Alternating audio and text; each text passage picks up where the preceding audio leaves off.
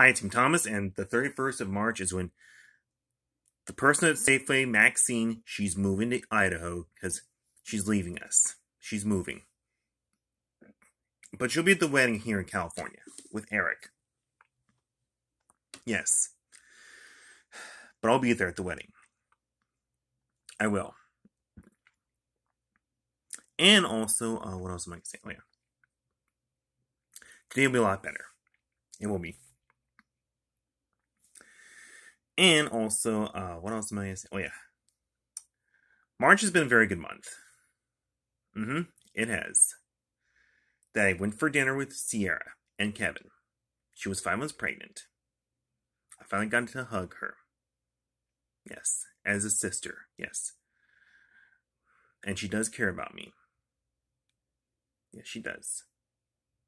So, I guess we're going, so I gotta go get myself to go to work. So, bye. Bye.